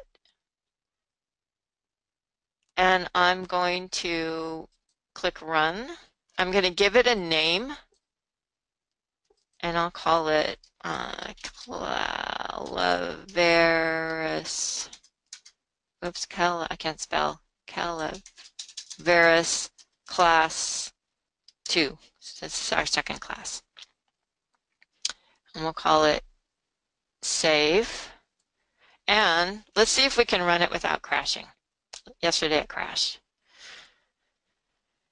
So this takes a little while to run. So at this point, what I'm going to do is let it run.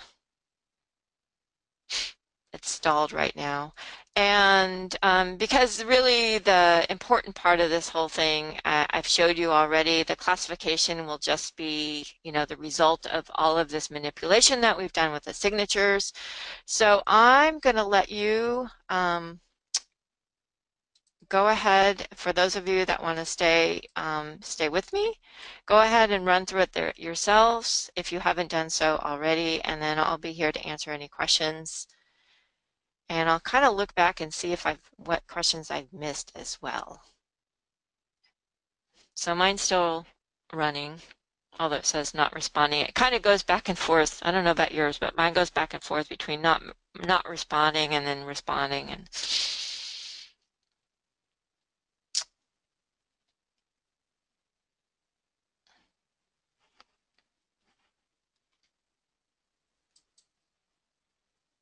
Okay, so I'm going to look at some of these questions. Oh, somebody, I think I answered this question, but somebody asked, what does it mean if urban 1, urban 2, and urban 3 do not overlap? Um, so that could be good in a way, because if they're not, uh-oh, I think we just crashed. Yeah. I think I just crashed it. So uh, uh, I don't know why. Um, so I think I have a classification that I can bring up for you if you're interested in it. Um, I'm curious to know when you guys run it if you uh, are able to successfully run it without without crashing it because this happened to me yesterday. Yeah, somebody said maybe it's a memory problem. It's entirely possible. Um, although I've run it on this computer before, so it's a little annoying. Oh, I go back to the question about um, if urban one, urban two, and urban three do not overlap. So that could be a good thing because that means you've selected probably some spectral, um, some signatures that have some variability. Um, and like I said before, the key to this whole thing is capturing variability within your classes without capturing too much variability. So um, it could be good that you did a good job of collecting three very different signatures. It could be that, um, you know, again with urban, urban's crazy because it's so heterogeneous that it's easy um, to get very different signatures um, and it's it's very hard to classify urban. So urban in particular is a bit of an um, an oddball and a challenge.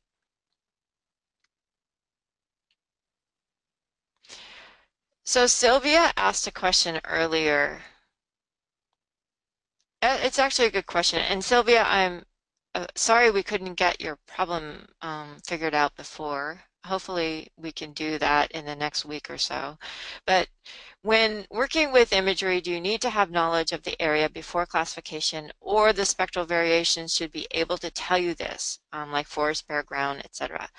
That's a really great question because I think that's the key to understanding how to do this. With supervised classification, actually I think with any classification, you have to have knowledge of the area before the classification. Um, because you can't select training sites and you can't create a land cover classification without understanding what's on the ground. Um, and whenever I teach this class, I, have taught this class at um, various colleges in the past, I always tell students that it's really, really important um, that you get on the ground and understand what's going on, what you're seeing um, on your computer and how that relates to what you're seeing on the ground. Um, it's really, really important that you do that. Because um, when you'll understand what classes you need to classify. Um, and on the ground, you won't sort of understand the spectral variability, but you'll be able to see with your eyes maybe how similar they might be. Um, so you need to do a little bit of both, and that's why I also say um, for the spectral variations, personally, I like to actually run an unsupervised classification first to really get a good idea for the spectral variability in my study area. And then once I do that, I can get a better idea of where there might be spectral confusion between my classes and figure out ways to deal with that. So that's just my own personal way uh, of doing things. And um, so it, it's really an art to try to figure out how to deal with the spectral variability. But it's very, very important that you understand that you know what's going on on the ground. Um, and, you know, field work is the best, but if you can't do that due to limited resources or your, you know, your project is occurring in a completely different country than where you work or something like that, then you can use you know, other things like Google Earth or high resolution imagery or other kind of data um, from people that do know that area. That's kind of a long answer to your question, but I feel fairly strongly about that.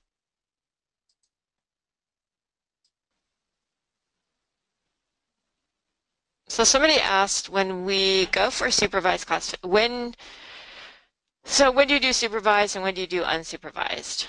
Um, the supervise you really do when you know, when you have those training sites. Uh, so when you have information that can give you um, exactly what those training sites are on the ground, then you can do supervised classification. You can actually control, I think you can control things a little bit more if you do a supervised, but again, you really have to understand what's on the ground. Um, you can do an unsupervised if uh, maybe you don't aren't quite so familiar with the area, um, or if you don't have that specific training site information, then you can do an unsupervised. Um, and so obviously, does supervised need further ground truthing? Um, it doesn't need ground truthing after you've already done the first ground truthing, but you do need a lot of ground truthing um, with supervised. So somebody just commented about how they're a water scientist. Um, and I'm glad that land classification is important for calculating surface water discharge. You know, one of the other things that we're um, thinking about doing, because obviously this is focused on on sort of terrestrial systems and not not um, water, um, but we can do a similar kind of thing um, with coastal and, and water systems as well. I mean, you don't do the same level of classification, obviously, but there are things um, in and around water that it might be interesting to do as well. So, so make sure that um, you let us know, you know, in the future what would be useful to you. Oh, good. Thank you, Pedro, for responding.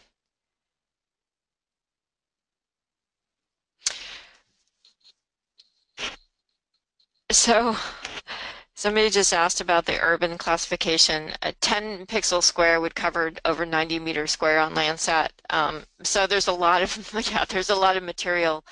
Um, even, so can we use a single pixel ROI to be very specific at what we're classifying? Absolutely. So you, that's a, that's a good way if you're, if you're trying to classify something like urban, which is so spectrally um, heterogeneous, it's so spectrally mixed, you might want to um, go to the approach of, of selecting an individual pixel.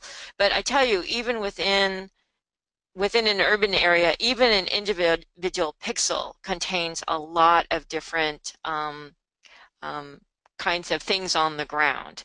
Um, and it include include in an urban area could include vegetation and then all the different sort of land um, surfaces, all of these different things. And and those pixels still get mixed up with other kinds of land cover types. So that's what makes urban so challenging.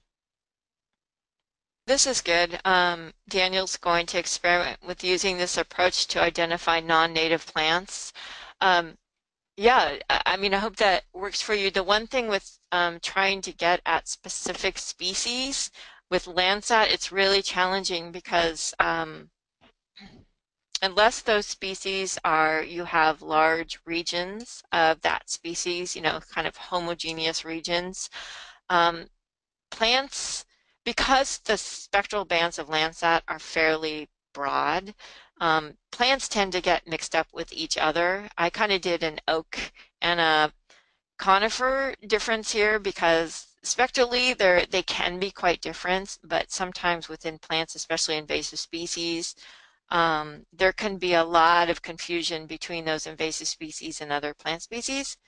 Um, however, uh, what a lot of people use is hyperspectral data because the narrow spectral bands allow you to actually sort of pick out different species types. So that's a whole different, processing hyperspectral data is a whole different sort of ball of wax. But um, just to heads up and be aware of, you know, the confusions that might occur with invasives. Somebody said, do urban areas need radar images instead of Landsat images? Um, you could use radar. I mean, a radar starts sort of getting at texture a little bit more. Um, so sometimes what people do is combine the radar with the Landsat and um, try to get at urban a little bit more. Um, that's, you know, that's a possibility.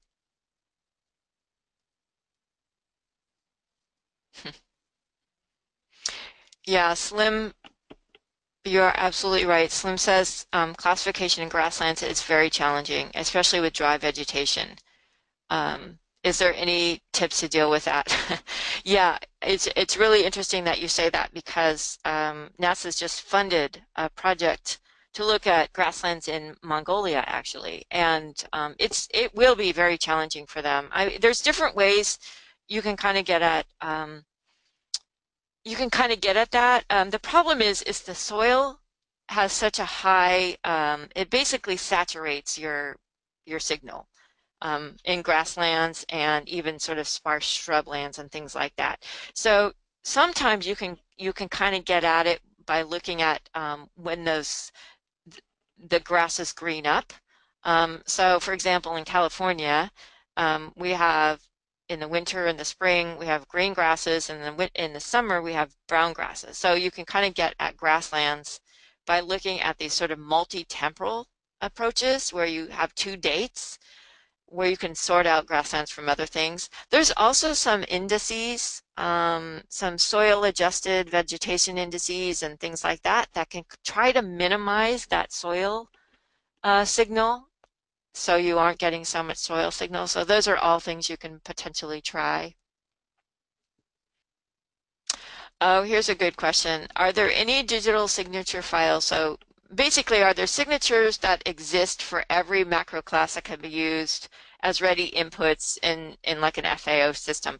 You know, so you're you're kind of what you're looking for is like a, a spectral library, I think. Um, and oftentimes for hyperspectral, there are spectral libraries, but not really for um, multispectral like Landsat. Pretty much everyone just generates their own spectral signatures for their specific region. I think partially because there's so much variation um, between regions. As you can see, even in this region, um, there's there's so much spectral variation that you can't necessarily get one spectral signature that will encompass one macro class. So somebody's asking about removing clouds. Um, you can actually create cloud masks. And the way that you would do this, you know, one way to do this is to is to do as we did earlier, where you're actually um, well, there you can do it spectrally where you select the pixels. You kind of like create, create training sites for those clouds because the clouds, unless you have snow in your image, um, generally will have a very unique signature. Um, and then once you do that, you create a classification and then use that class. Use um, you you can use raster um, uh, math like a raster calculator to literally um, pull out, cut out those pixels from your image and then reclassify your image. There's not much else you can do. You cannot look underneath those clouds. Those clouds are basically blocking out whatever it is underneath them. So you can get rid of them. You can get rid of that part of your image. Um, you can classify them as a separate class. Um, there, there isn't much more you can do about that.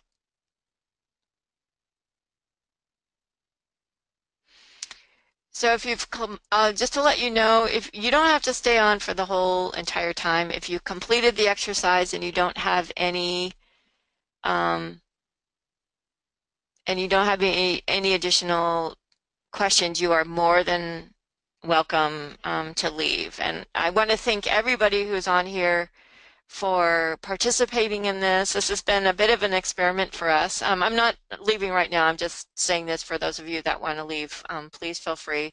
Um, we appreciate all your help. Uh, looks like somebody got an error by with the SurveyMonkey. Let me see what's going on. So somebody was asking about how do you get the minimum and maximum values? So I'm not sure. I think you're going to have to clarify a little bit. Where where do you want to see the minimum maximum values in the? Do you want to see the minimum and maximum values of the bands, or of the spectral signatures? Maybe you can clarify a little bit. Then I can show you where to get those. Oh, it looks like somebody, Antonio, had a problem with the the MC classes. You know, now that my um, QGIS crashed, I have to bring it up again. So bear with me a minute and I'll bring up QGIS again.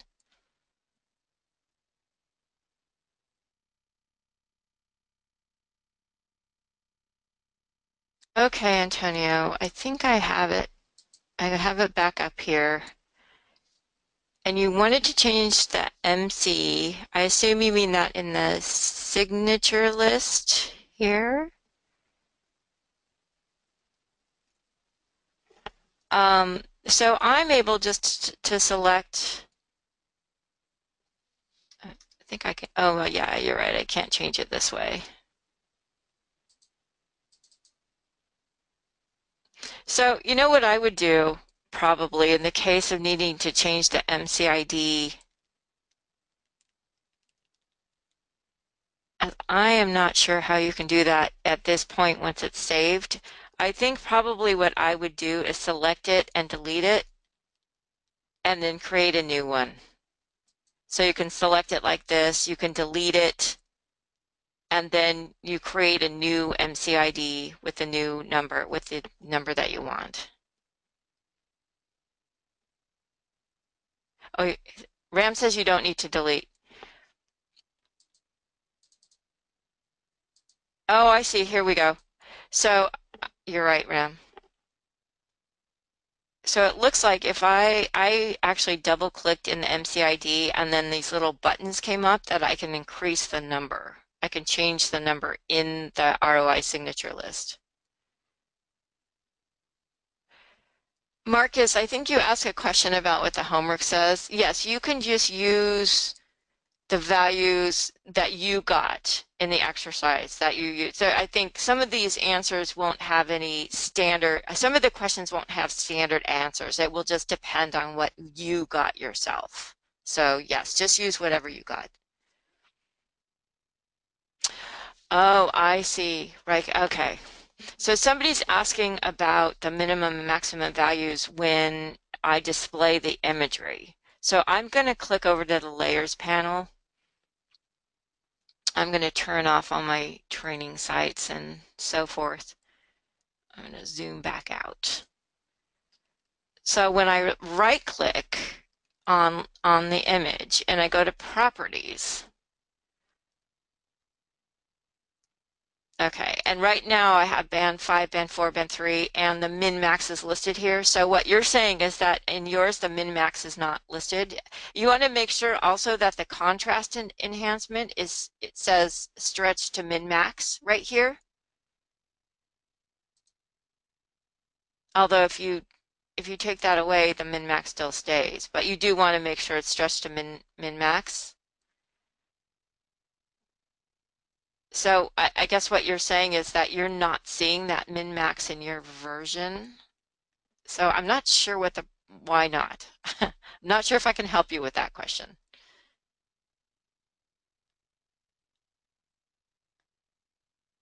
Right, so, okay. It's hard to talk, right, with you writing and me talking.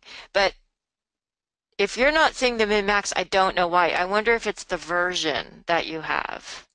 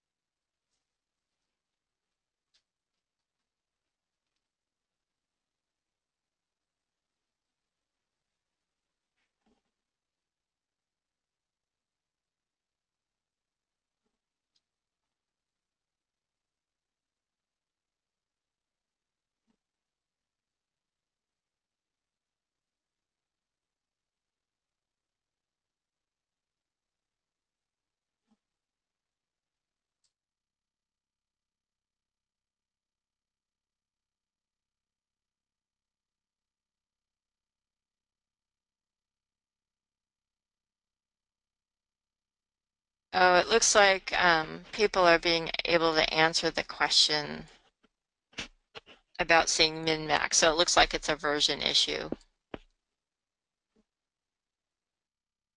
No, a version issue, not conversion issue. Version, your version of QGIS. So I'm wondering, can you all see each other's questions? Can you let me know? Because it, it wasn't totally clear Oh, you're not. Oh, you can't. See, that's one downside to this software is that with the previous software that we used, you could see each other's questions and answers, which was really helpful. So maybe what I can do is if some of you are answering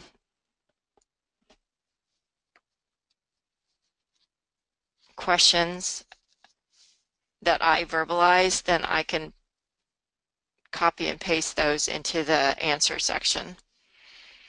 Hopefully we'll get a version of this software that will, or we'll find another alternative to allow you to sort of talk to each other as well, because a lot of you have some really great solutions to some of these issues that I can't necessarily answer, um, and you have some experiences that would be very helpful for everyone else to hear. So Paolo asked if um, the person with the, I think it's that's Petri, um, that no Ryko, with the min-max problem, is there a thumbnail visible? It sounds like there's a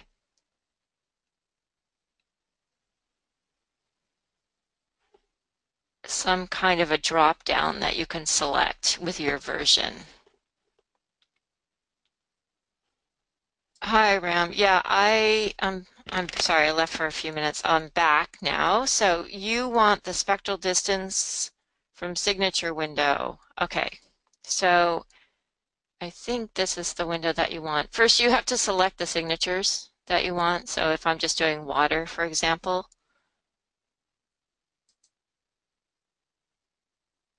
then you bring up. So if you haven't selected those signatures, then they won't, um, then they won't show up. So let me know if that works for you.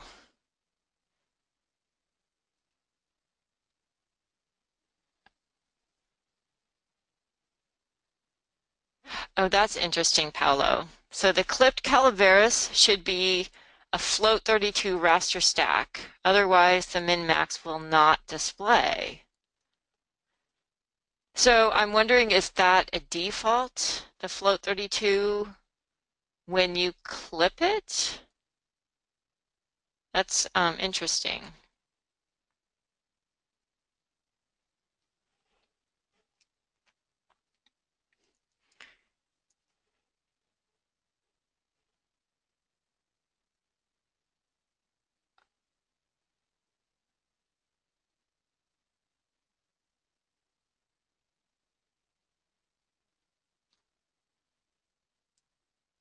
It should be the default option. Yeah, I agree with you because I don't think I've had a problem with that, but it could be a version issue.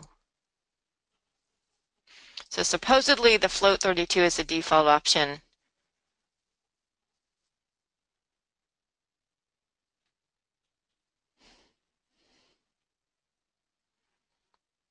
So Ram, I have the spectral signature plot open. I think um, and then when you go to spectral distances, you actually have to select your signatures here and then click on spectral distances and they should show up. So hopefully that works for you. Okay, good.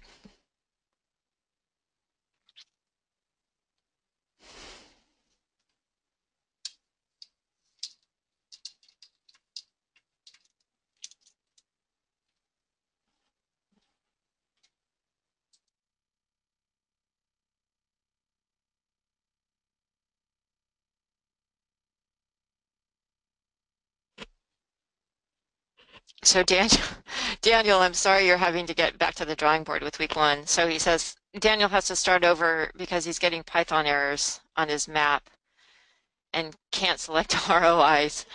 You know, I love QGIS. Um, I really do. It has a lot of great functions, um, but I it sometimes is really difficult to work with it because of all these errors. So it depends on the if you have if you had had Python already um, installed on your computer, then trying to install QIS, QGIS can kind of get messy. Um, and then the version matters. And then as you could see, I may have memory issues, so I was dumped. So it's, you know, it's not perfect. Um, so hopefully you can work, Daniel, hopefully you can work through some of those problems. Hi, everyone. This is Cindy again. Um, we have about 10 minutes left in this session. There's there's a few of you still left on, and I'm not sure if you're still working on the um, the lab, the QGIS exercise, um, but if you are, we'll stay on for the last 10 minutes. That's no problem. I just wanted to remind you to complete the SurveyMonkey if you get a chance um, and just let us know how you felt about the course and what you'd like to see for future courses and, and that sort of thing. Or if you have any additional questions, just you know post them here and I'll try to answer them.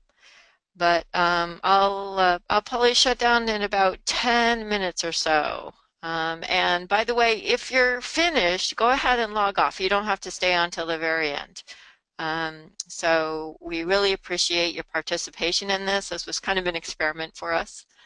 And uh, we really hope that you join us again for our next webinar. Okay, I'll log off. I mean, I won't log off to now. For now, I'll I'll mute for now um, and then come back on and close it down in about 10 minutes. Okay, thanks everyone.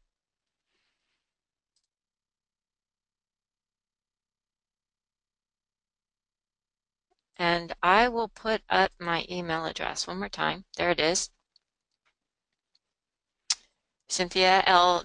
L. Schmidt at nasa.gov. So please feel free to email me any questions you might have. And thanks again for participating. And we'll see you at the next ARSET webinar.